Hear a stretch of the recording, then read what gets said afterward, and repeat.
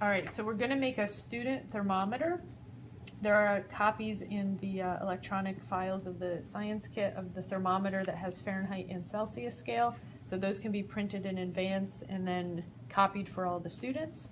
And then each student would need a sheet of construction paper or cardstock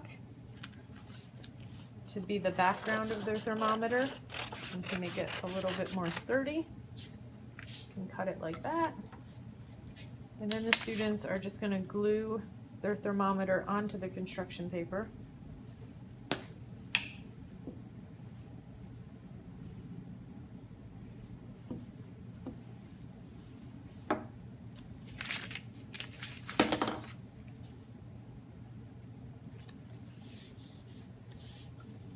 There we go. Just kind of glue it down.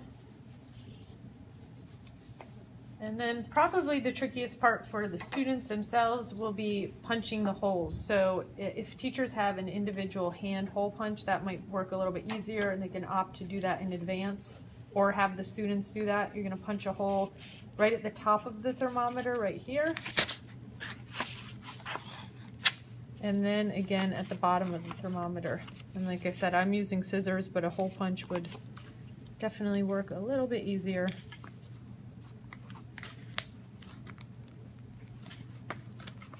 This without picking it off. There we go.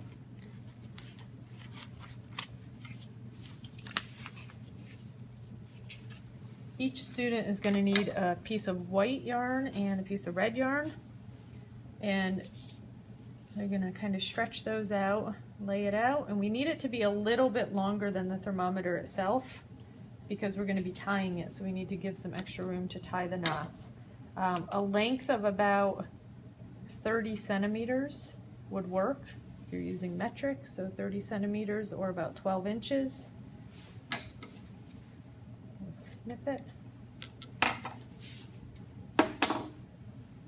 And then we're going to tie two ends together. Actually, do it this way.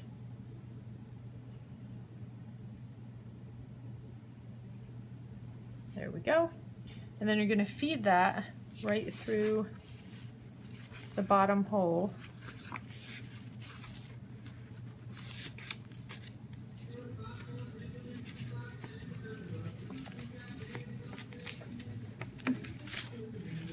Custodians, gotta love them.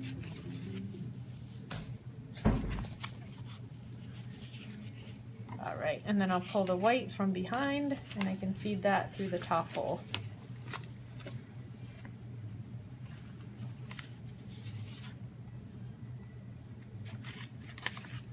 There we go, and there should be a little bit of extra yarn left so then we can tie it together in a knot.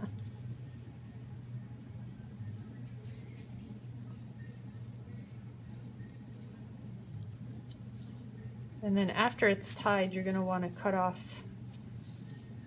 any extra yarn.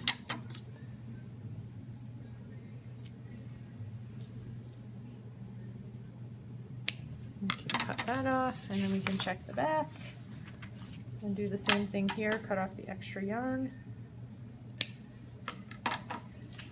And then it's done. And the students can practice reading different temperatures. They can slide the red up and down on the thermometer and practice reading in Celsius or Fahrenheit or comparing if it's Celsius, what would it be in Fahrenheit? And they just do that by sliding the red yarn up or down.